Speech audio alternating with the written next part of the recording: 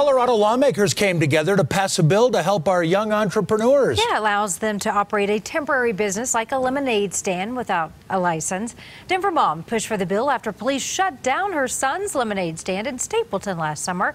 It was next to a festival that had vendors that were selling lemonade as well. Now, under this bill, kid businesses will still have to be located a fair distance from any competition. They will only be allowed to operate for 84 days or less. The bill just passed out of the House. It's now on its way to the governor's desk for signature.